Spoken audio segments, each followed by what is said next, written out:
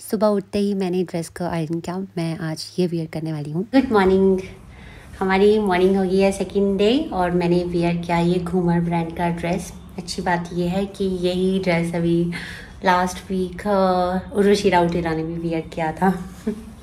बस अब अब हम जो है अभी टाइम कितना हुआ टाइम कितना टाइम हुआ? सवा आठ। हो गए हैं और अब हम जो है ब्रेकफास्ट करने जा रहे हैं। फिर जल्दी से निकल जाएँगे।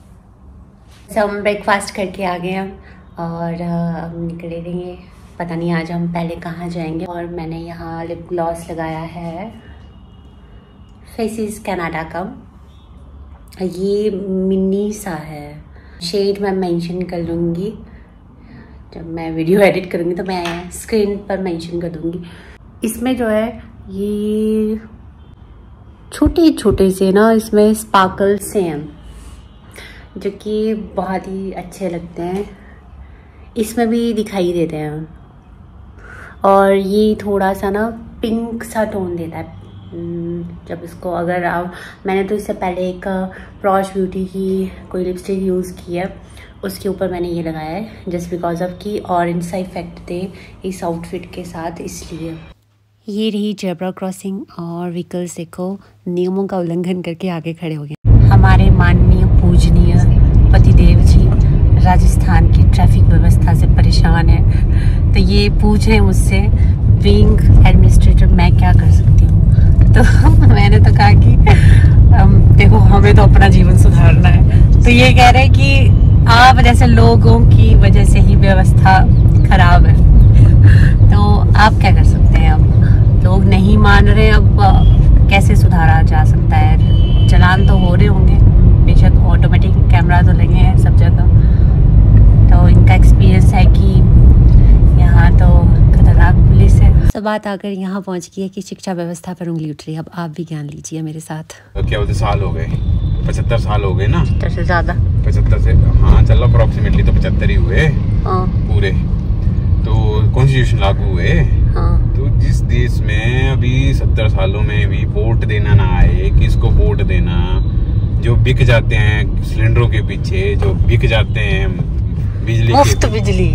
मुफ़्त बिजली sector extra blah blah blah जो भी चीज़ें हैं, दुनिया भर की, क्या है? सोच, भी हालत देख। अभी भी जिस इंसान ने अपने दो, दोनों बेटों को वो मंत्री बना के रखा है डिप्टी सीएम बना दिया, अपने परिवार से आगे कुछ नहीं किया, उन लोगों को जो है देवता बना देते हैं। तो कहाँ से होगा इस देश का भला भाई?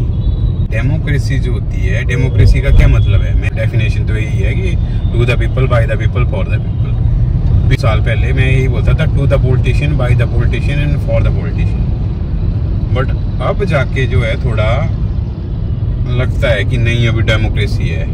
इस देश में चाय वाला प्रधानमंत्री बन सकता है तो वहाँ पे नो डाउट वहाँ पे डेमोक्रेसी है। पहले राजशाही थी, राजशाही में क्या था? यथा राजा तथा प्रजा। डेमोक्रेसी में क्या है? तथा यथा प्रजा तथा राजा। बस आज के लिए इतना ज्ञान काफ़ी है। हम पहुँच गए हैं पन्ना मीना कुंड के पास ही कल की लोकेशन में और हम सबसे पहले जा रहे हैं बिहारी जी के टेंपल जहाँ पच्चीस साल पहले चोरी हो गई थी मूर्ति की तो ये मंदिर में अभी बंद है। बट ये बारहवीं सेंचुरी का बना है। ये टेंपल पन्ना मीना कुंड के पास ही है। आप मेरे बैकग्राउंड में देख सकते हो, यहाँ से बिल्कुल सामने दिखाई दे रहा है।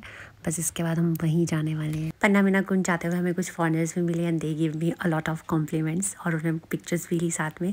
यहाँ से कुछ इस तरह दिखाई देता है टेंपल पन्ना मीना कुंड से। बस हमने यहाँ भी बहुत सारी पिक्चर्स क्लिक की और उसके बाद निकल पड़े आमिर फोर्ट की तरफ़। आमिर फोर्ट में एंटर करते ही आपसे व्हीकल की पार्किंग फ़ीस ले ली जाती है, जो कि फिफ्टी रुपीज़ है। उसके बाद यहाँ पार्किंग है और बाय वॉकिंग आपको फोर्ट देखना होगा।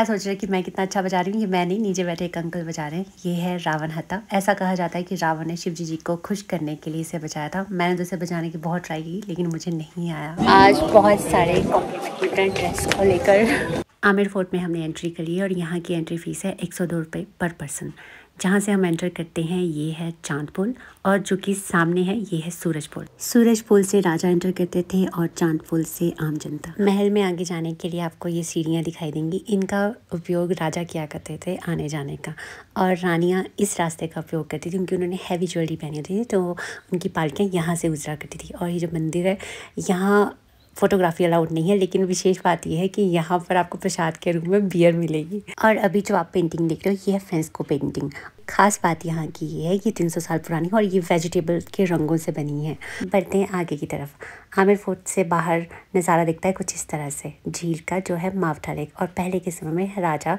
इस तरह आते थे, हाथी के ऊपर बैठकर महल तक। और ये जो आप गार्डन देख रहे हो, झील के बीच में जो बना है ये है सेफ्रॉन गार्डन मान सिंह जिन्होंने इस महल की नींव रखी वंस अपॉन अ टाइम वे कभी अपनी वाइफ के साथ कश्मीर घूमने गए होंगे और उन्हें वहाँ केसर काफ़ी पसंद आया और उन्होंने डिसाइड किया कि हम यहाँ पर भी केसर उगाएँगे। इसलिए उन्होंने यहाँ कोशिश की केसर उगाने की। इसलिए इस गार्डन का नाम पड़ा सफ़न गार्डन एक और इंटरेस्टिंग बात यह है कि ऐश्वर्या राय का जब यहाँ पर सॉन्ग फिल्माया गया था, जश्न बहारा तो उन्हें इसी गार्डन में बैठकर फिल्माया गया था। अब देखते हैं आमिर फोर्ट की सबसे इंटरेस्टिंग चीज़, और ये है उस ज़माने का गीज़र। जी हाँ ये उस ज़माने का गीज़र हुआ करता था, नीचे यहाँ पर आग जलाई जाती थी, और इसके ऊपर यहाँ पर कॉपर प्लेट रहती थी, और कॉपर प्लेट के पीछे टैंक्स रहते थे और उनमें पानी गर्म होता रहता था, धुएँ से भी और आग हीट से भी। और ये है उस ज़माने के वॉशरूम इसी में अंदर स्टीम बाथ टर्किश बाथ मौजूद है। और ये रहा स्पेशली महारानी साहिबा का उस समय का बाथ टब और अच्छी बात यह है कि यहाँ पर ठंडे पानी, गर्म पानी के निकास के लिए अच्छी तरह से प्रबंध किया गया था उस ज़माने का। अब एक और अच्छी चीज़ देखते हैं ये जो आप सामने देख रहे रूम ये है मसाज रूम उस ज़माने का राजा रानियों का जो कि टर्किश वे में ही बनाया गया है यहाँ सबसे इंटरेस्टिंग चीज़ ये है कि इसके कॉर्नर में आप आस्ते से विस्परिंग करके भी कहोगे तो आपको उस कॉर्नर में सुनाई देगा हाँ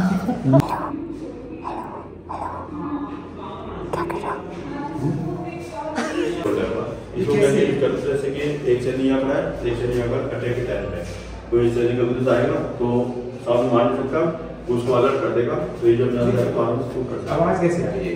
ये टेक्नोलॉजी सर टेक्नोलॉजी उसमें बोला होगा यानी कि जैसे पाइपलाइन डालते हैं पहले टाइम में वैसे आप अगर आप बोर्ड डालो वहाँ पे ताली जाके ऐसे साउंड आता है ऐसे आगे रहता है ये ठंडे पानी का टैंक और ये गर्म पानी का टैंक अच्छा ठंडे पानी का ये है स्टीम बाथ जो बाहर पानी गर्म होगा तो उसकी स्टीम आएगी अंदर। तो स्टीम है ना ऊपर ऐसे सब जाएगी ना। तो उसको रोल के टाइम में शैम्पू शैम्पू साबुन नहीं होती थे उस समय सीखा गई हर्बल पाउडर जड़ी बूटियाँ और शैम्पू लेप करके रोल में आती थी उसका लिक्विड लिक्विड लिक्विड करने के बाद यहाँ से बह के जाएगा टाइप का यहाँ से बह के वाटर में इकट्ठा जाएगा। इसके बाद गए हम गणेश पोल देखने जहाँ पर ये जो पेंटिंग दे रही है ट्वेंटी फोर कैरेट गोल्ड की पानी से बनी है। और ये जो दरवाज़ा ये ख़ास दरवाज़ा है। इसकी आवाज़ ख़ास है मैं आपको सुनाती हूँ इसकी आवाज़। ने वेलकम किया रोल फैमिली का। उसके बाद हम गए सबसे खूबसूरत चीज़ देखने वो है शीश महल और जो कि सबसे बड़ा शीश महल है। वैसे तो भारत में बहुत सारे शीश महल है, लेकिन ये सबसे सेफ़ शीश महल है। उस समय राजपूतों के संबंध अच्छे बन गए थे, मुगलों के साथ। एज ऑल यू नो कि राजा मानसिंह ने इस महल की नींव रखी और मानसिंह जो है, अकबर के नवरत्नों में से एक थे। शीश महल के एक दीवार में उस जमाने का शीशा लगा था और सभी कुछ इस तरह से फोटोग्राफी कर रहे थे तो मैंने भी कुछ इस तरह तस्वीर ली। आगे हम अब उस जगह पर जा रहे हैं, जहाँ पे रानी साहिबा वेट किया करती थी राजा से मिलने का।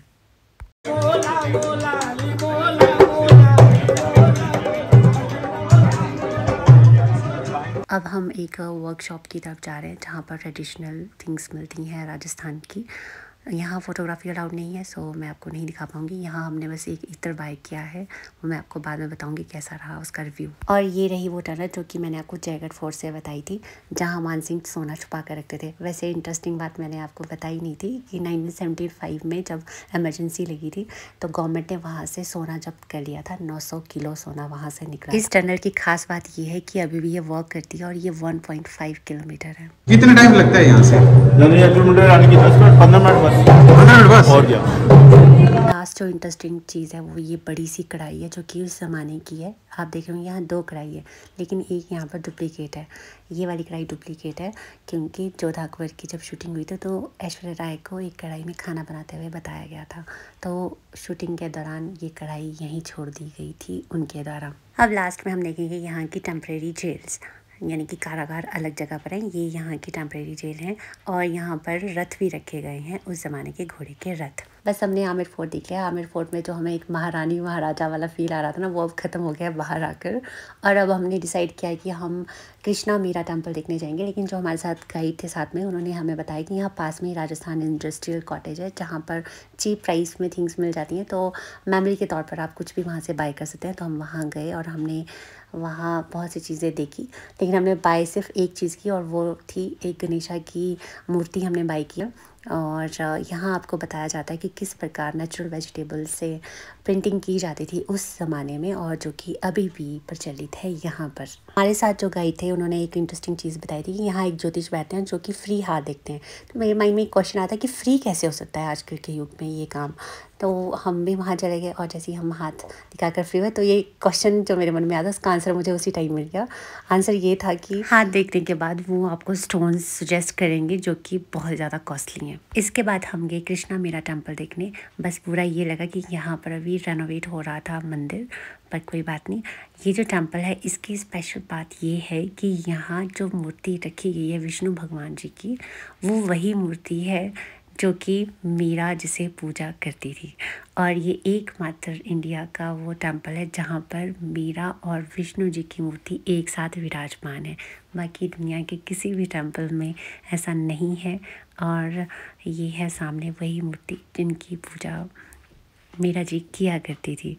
मंदिर के आँगन में ये जो यहाँ पर द्वार है यहाँ पिक्चर्स बहुत अच्छी आती हैं, अगर आप कभी आओ तो। आप अर्ली इन द मॉर्निंग आना और यहाँ पर जो सनराइज़ होता है वो बहुत ब्यूटीफुल होता है।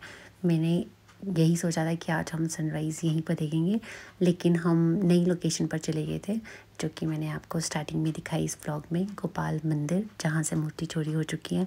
वो भी बहुत सुंदर जगह थी। अभी तो हम जा रहे हैं। आज हमने डिसाइड किया है कि आज हम हवा महल में अपना सनसेट देखेंगे।